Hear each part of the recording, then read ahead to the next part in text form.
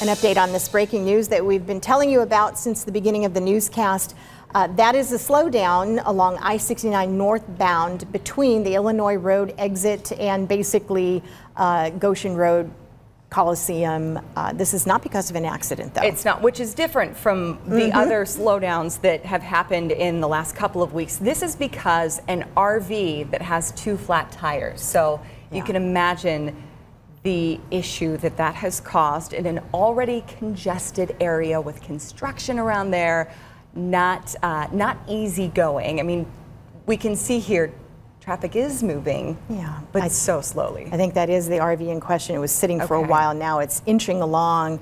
Uh, I'm sure that crews are desperate to basically get it out of the way. The good news with all of this, no injuries reported. Yeah. The bad news, it's rush hour, and mm -hmm. if you need to take that route on the way home, we do advise here in the next little while still find a different way.